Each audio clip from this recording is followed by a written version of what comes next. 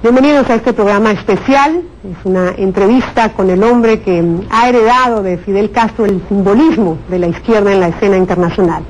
En el marco de la cumbre de los países no alineados en La Habana, nos acompaña el presidente de Venezuela, Hugo Chávez. Presidente, muy amable por aceptar esta invitación de CNN en español. Gracias, Patricia. A la orden aquí. Heredando cosas. Fidel no ha hecho nada de herencia ni nada. Compañero de Fidel en estos caminos. ¿No se siente usted como que es el, el relevo de Fidel Castro ahora que está recuperándose después de esta... Yo creo que Fidel no tiene relevo, ¿sabes? Fidel y su tiempo y su grandeza y nosotros somos soldados de esta batalla. ¿no? En todo caso, herederos somos, ¿sabes de quién? Sí, sin duda, él y yo también, eh, de Bolívar, de Martí, somos herederos de ese legado.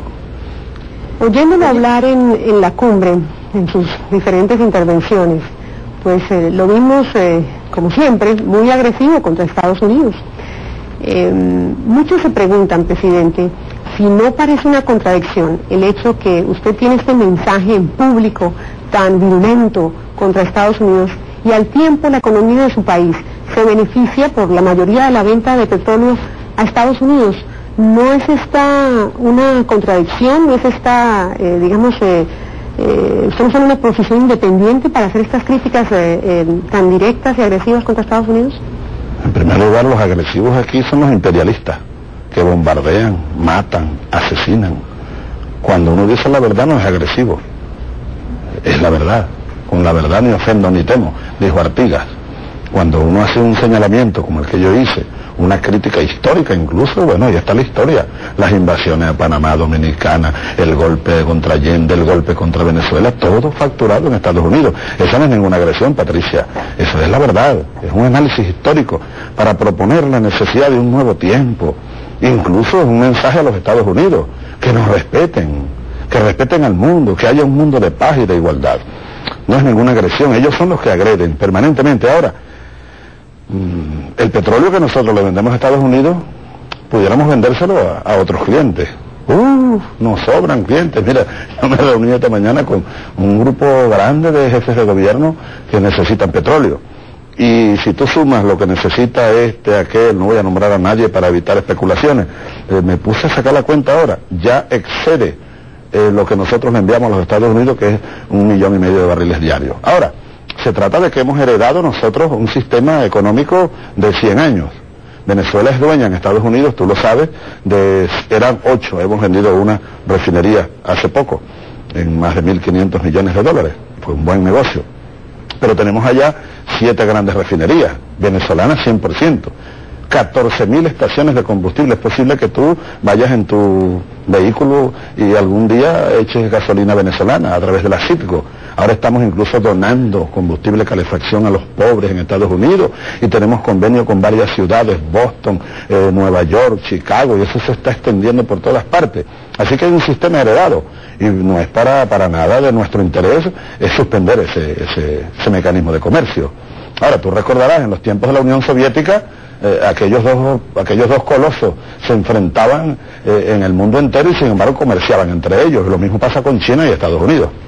Alguna vez me pareció oírle decir que si, bueno, Estados Unidos seguía con estas agresiones y esta intimidación contra Venezuela, usted suspendería o terminaría la venta de petróleo a Estados Unidos. No, no es intimidación, no. En, en ese caso, primero que no nos van a intimidar. No, nosotros pasamos ya la línea de no intimidación, de no miedo. Conspiración con Correcto. Eh, lo hemos dicho de esta manera y es claro y te lo repito, lo ratifico. Si Estados Unidos volviese a agredir física y abiertamente a Venezuela, no enviaríamos una gota de petróleo a Estados Unidos.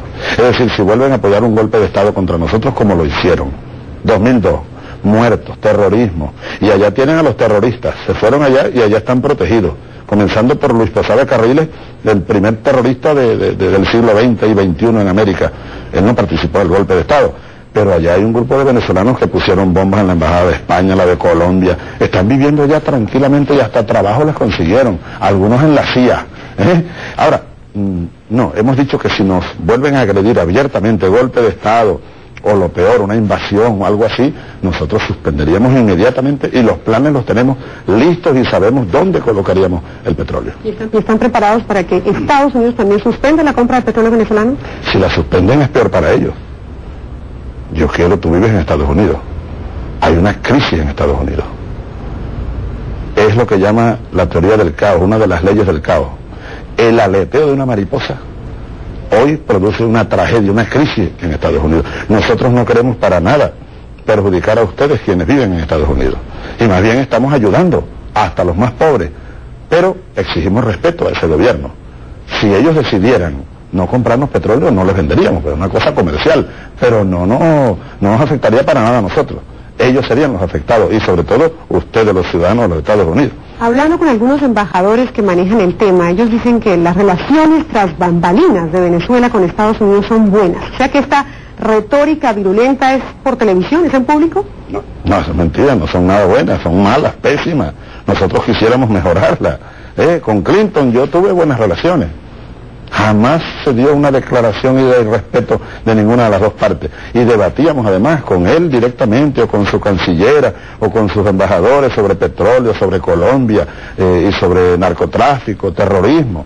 Ahora, con este caballero no se puede ni hablar porque él anda a pedradas, ¿no? El tejano que anda disparando desde la cintura o con una ametralladora.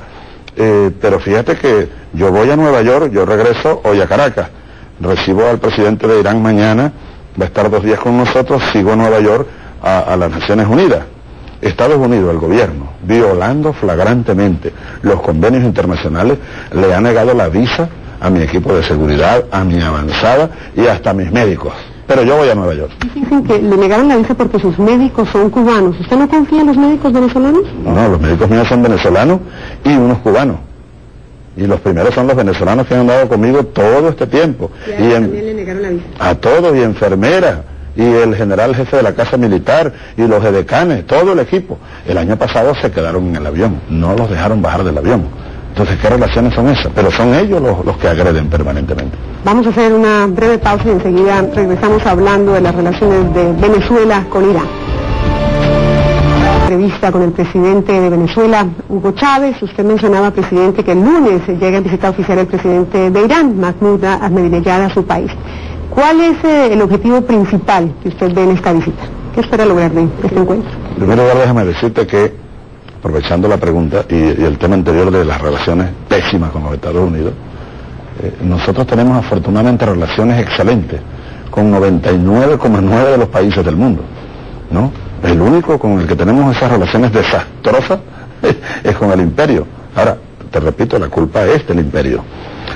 Con Irán, continuar fortaleciendo una alianza estratégica que ya comenzó desde 1999, cuando fui a visitar al entonces presidente Hatami, que anda, por cierto, por, por Estados Unidos hace unos días, creo que estaba por CNN, yo lo vi por CNN. Eh, continuar fortaleciendo la alianza estratégica hemos venido avanzando en el sector energético, industrial. Irán, tú sabes que dio un gran salto adelante en desarrollo tecnológico, sobre todo, bueno, la revolución islámica. Y, Irán ahora nos transfiere tecnología. Te voy a poner un ejemplo. Venezuela durante 20 años no tuvo eh, ningún tipo de, de apoyo o de capacidad para fabricar maquinarias agrícolas y tenemos gran potencial agrícola. Pues ya estamos construyendo tractores eh, en una empresa mixta llamada Benirán Tractor. Estamos hasta exportando, ya mandamos a Bolivia 50 tractorcitos, baratos y de los mejores.